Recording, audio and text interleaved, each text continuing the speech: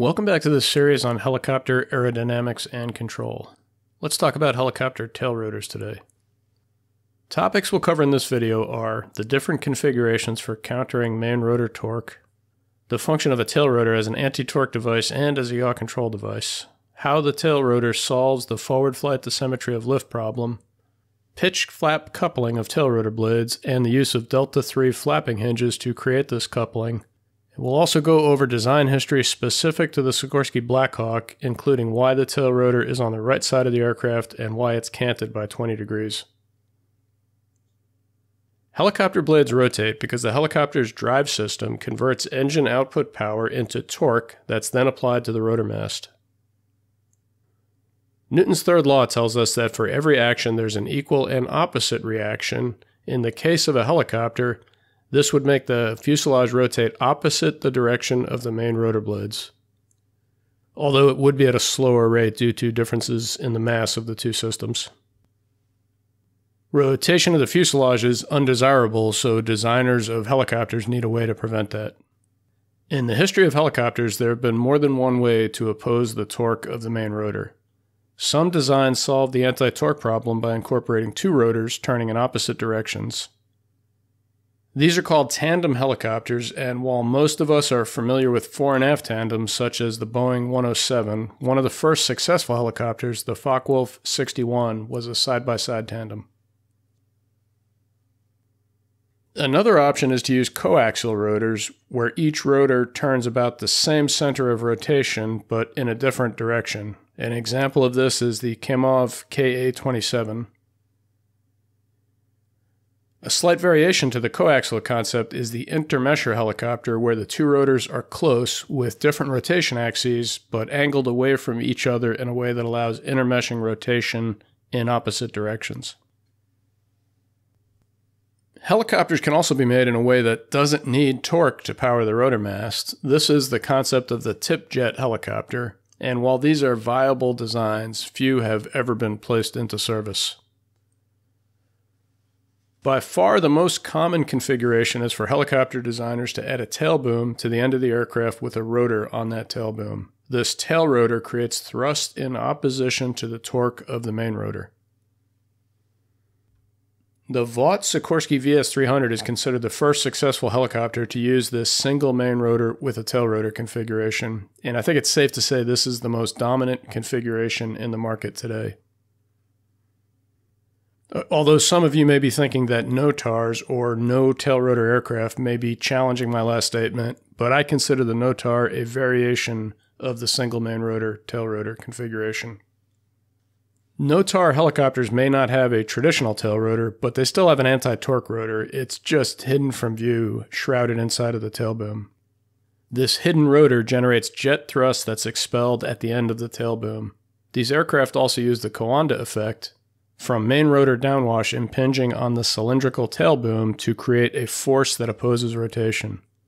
The Coanda force augments the jet thrust at the end of the boom, but NOTAR aircraft are not controllable without the anti-torque rotor. Like the main rotor blades, tail rotor paddles are airfoils that generate lift. For the counterclockwise rotating main rotor with a tail rotor on the right side, the airfoils create thrust to the right by moving a mass of air to the left. This solves the anti-torque problem and prevents unwanted rotation of the fuselage. It's not enough for the tail rotor to simply generate thrust. The amount of thrust needs to vary, and the pilot must have control over the magnitude of tail rotor thrust. Whenever main rotor torque changes, so must the amount of thrust produced by the tail rotor. The pilot controls the tail rotor thrust in most aircraft by using anti torque pedals. When the pilot raises the collective lever, more torque is sent to the main rotor. This would cause the nose to yaw to the right, so the pilot compensates for this by increasing tail rotor thrust with left pedal. When the pedals are used this way, they prevent yaw as the main rotor torque changes. But sometimes pilots don't simply want to prevent yaw. Sometimes they want to intentionally yaw the helicopter, and tail rotor pedals are used for this as well. For example, if you're in a hover and you want to point the nose to the left, you step on the left pedal. In forward flight, if the aircraft is out of trim with the balance ball to the left, the pilot applies left pedal to yaw the nose to the left and bring the aircraft back into trim. So as we talked about in my video on main rotor blade flapping, forward flight causes a difference in the velocity seen by the advancing and retreating blades. This is called the forward flight dissymmetry of lift, and this would cause a difference in lift on the advancing and retreating sides of the disc, but the blade flapping degree of freedom equalizes the lift distribution. In a main rotor with counterclockwise rotation, the right side of the rotor is the advancing side and the left side is the retreating side. In a tail rotor mounted on the right side of the aircraft with the tail rotor rotating clockwise, the lower blade is the advancing blade and the upper blade is the retreating blade. Blades flap to prevent dissymmetry of lift. The flapping motion reduces the normal component of velocity, and this reduces the angle of attack and balances lift evenly on the advancing and retreating sides. But tail rotor blades are shorter than main rotor blades, so flapping is not as effective in angle of attack reduction. Simply allowing the tail rotor blades to flap more would require more clearance from the tail boom. But there's another way of changing the angle of attack, and this is to change the pitch angle of the blades as they flap. We want to reduce the pitch of the advancing blade and increase the pitch of the retreating blade so both the advancing and retreating blades see the same angle of attack. But this isn't done through the control system. Instead, it's done through a special type of a flapping hinge that introduces pitch flap coupling. Pitch flap coupling means the blade's pitch is altered in response to a flapping motion. And the name for this type of flapping hinge is a delta 3 hinge. In the animation, the tail rotor blade on the left is flapping about a hinge with positive delta 3, while the tail rotor blade on the right is flapping about a hinge without any delta 3. You can see when the blades flap to the right, the delta 3 hinge reduces the pitch angle of the blades. When the blades flap to the left, the hinge increases the pitch angle of the blades. Increased lift is the cause of flapping, and delta 3 reduces lift in response to positive flapping. Delta 3 can be thought of as the introduction of an aerodynamic spring. The reduction in pitch due to flapping creates a force in opposition to flapping. I'll pause the animation momentarily at the peak flapping angle so you can compare the pitch angle of the two blades. You can see the pitch angle is lower on the blade with delta 3. Here's an image from Troy Gaffey and Ken Wernicke's patent, and it's a good at-a-glance explanation of how delta 3 is mechanized. The flapping hinge axis is skewed from the span axis of the rotor blade. The result of flapping about the skewed axis is that the blade reduces its pitch angle as it flaps away from the aircraft and increases its pitch angle as it flaps towards the aircraft. This Delta 3 motion may be more difficult to see on the Blackhawk compared to other helicopters because the motion takes place by bending of a bearingless flex beam. Here's an image of a Delta 3 hinge. Uh, this is from a Bell 206, and this uses traditional anti friction bearings instead of the bearingless setup it may be easier to see here how the Delta 3 hinge is mechanized. Here's a summary of Delta 3. Pitch flap coupling is used to reduce the amount of flapping needed to compensate for the forward flight dissymmetry of lift. It does this by hinging the flapping axis about a skewed line. Flapping on this skewed delta 3 axis causes the pitch of the blade to decrease in response to positive flapping, and this coupling effect is the equivalent of adding an aerodynamic spring to the flapping degree of freedom. You may wonder if this is what Delta 3 does, then why don't we also use it on main rotors? The answer is that although Delta 3 is rare on main rotors, it is used. It's used on tilt rotors, and for comparison, here's two coaxial rotor helicopters. While I don't know this for sure, I'll make an educated assumption that the reason the S 69 is able to get away with main rotors that are more closely spaced than the KA27 is that the S69 likely incorporates a Delta 3 flapping hinge for the main rotor. To support that idea, here's an image of Dave Schmalling's patent for a rotor system with pitch flap coupling that shows its application on a coaxial rotor system. Delta 3 hinges reduce the amount of flapping needed to compensate for the forward flight dissymmetry of lift, so they would be appropriate for closely spaced coaxial rotors. I was at Moffett Field earlier this year, and here's a photo showing what's become of the S 69. I find this a little sad. There was so much innovation that took place in the 70s and 80s for high speed rotary wing flight. And while we finally have a 275 knot rotorcraft, much of this early development seems relegated to a side note in aviation history. And to add to that, here's a photo of the S 72 research aircraft, also at Moffett Field. Let's look at the Blackhawk's drive system. Power for the tail rotor comes from the main transmission via a series of drive shafts. The power passes through an intermediate gearbox and a tail rotor gearbox before it finally arrives at the tail rotor blades. Because tail rotor drive comes from the main transmission, anytime the main rotor is turning, the tail rotor must also turn. This gear reduction starts at 21,000 at the engine output and it's reduced to 5,750 at the freewheeling unit, and then 1200 RPM at the combined main bevel. This main bevel gear has an upper and lower set of spiral bevel teeth, the lower bevel combines the power of both engines, while the upper bevel is the power takeoff for the tail rotor. The tail rotor takeoff pinion increases the RPM from 1200 at the main bevel to 4100 RPM. From here, this power is transmitted at 4100 RPM to the intermediate gearbox where it's reduced to 3300 RPM and changes direction by roughly 120 degrees. The final reduction and direction change is at the tail gearbox where it's reduced to the final RPM of 1200. The Blackhawk tail rotor is on the right side of the aircraft, and this is unusual. For comparison, here's a list of helicopters with tail rotors on the left side, and here's a list of helicopters with their tail rotor on the right side.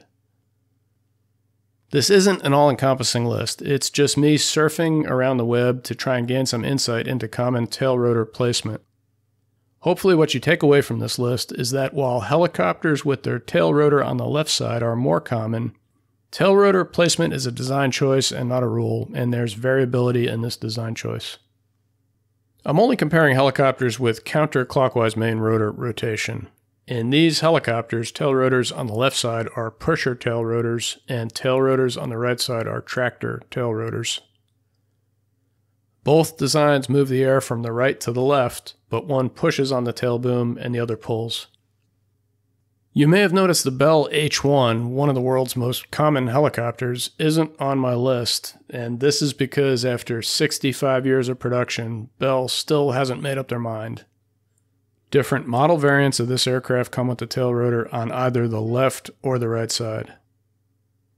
If you find this design variability surprising, then you'll probably also be surprised to learn that tail rotors can be designed to rotate in either direction. The asterisk models on my list are counterclockwise rotating tail rotors. This is when viewed from the left side of the aircraft, and the rest rotate clockwise. And a neat observation for my list is the Robinson family. Both the R44 and the R22 have tail rotors on the left side, but the R44 tail rotor rotates clockwise while the R22 rotates counterclockwise. Tim Tucker wrote an article that explains Frank Robinson's rationale on why he made this design choice for the Robinsons, and there's a link to that article in the description. To explain why the Blackhawk has a right side tail rotor, I'll turn to a book written by Ray Leoni, a Sikorsky engineer and the program manager for Sikorsky's entrant to the Army's Utility Tactical Transport Aircraft System. Leoni wrote about the development of the aircraft in Black Hawk, the story of a world class helicopter. And it's a really interesting book. Not only does Leoni describe in detail the technical path to designing the Black Hawk, but he also describes industry business cycles and military procurement practices in a way that gives amazing insight into how aircraft are designed, built, and sold to the military. In this book, Leoni describes the design decision to put the tail rotor on the right hand side of the Blackhawk. The left side tail rotor has an advantage in efficiency because it avoids downwash impingement on the vertical fin. But the Blackhawk design team chose the right side tail rotor in order to meet Army combat survivability requirements. Tail rotor separation from the aircraft, when mounted on the left side, would hit the vertical fin and then cartwheel into the main rotors. Whereas the right side mounted tail rotor would separate from the aircraft cleanly. In either case, losing a tail rotor is obviously a bad situation, but it's much better to have loss of the tail rotor when the main rotor remains intact. And when the pilot is faced with a complete loss of the tail rotor, the only option is to remove all power from the main rotor by entering an auto rotation. Continued powered flight isn't possible without a tail rotor, but it is possible to land safely from an auto rotation. Leoni says the right side mounted tail rotor has the additional advantage of being higher off the ground, which is a safety enhancement for troops entering and exiting the aircraft. Earlier in this video, I mentioned how the UH-60 tail rotor uses a bearingless flex beam design that allows for the feathering and flapping degree of freedom without the use of mechanical anti-friction bearings. While this design was innovative in the 70s, it's common today, and not just for tail rotors, but also for main rotors. Leoni talks about this design decision in his book. He goes over the history of Sikorsky rotor hubs, starting with pre 1960s greased hubs that required daily servicing, the introduction of oiled hubs in the 60s, and Sikorsky's first elastomeric hub on the CH 53D main rotor in 1972.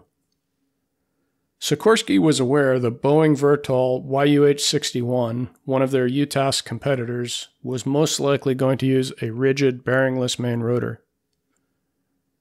Sikorsky considered this for the Blackhawk main rotor, but chose not to go this path due to what they saw as a lack of an adequate knowledge base. While Sikorsky did not opt for a bearingless main rotor, they did incorporate a bearingless crossbeam tail rotor design. This design was innovative because it used composite materials to eliminate the need for pitch change bearings, and it allowed each blade's centrifugal load to be internally reacted by the opposite blade. One of the most distinctive features of the Sikorsky Blackhawk is the 20 degree upward canted tail rotor. The birth of this design choice was two competing Army requirements for the UTTAS program. The first of these was vertical climb requirements in hot and high ambient conditions, and the second was the Army's requirement for air transportability without disassembly of dynamic components in either a C 130 or a C 141. The performance requirement drove the need for a main rotor that was as large as possible, but the air transportability requirement imposed constraints on how large they could make the aircraft. The 20 degree cant angle of the tail rotor allowed Sikorsky engineers to make the main rotor smaller by providing 400 pounds of additional lift at the tail rotor. They were able to reduce the main rotor diameter by up to 2 feet due to additional lift of the canted tail rotor. That's all I have for today. I hope you enjoyed this brief look at how all helicopters solve the anti torque problem, and specifically how tail rotor configured helicopters achieve this. If you've been watching this series, you may have noticed a difference. I included more historical context into the design principles that I show with the animations. I'm interested to know what you think of this format and whether you think it helps with the technical understanding of these concepts. I'll see you on the next video.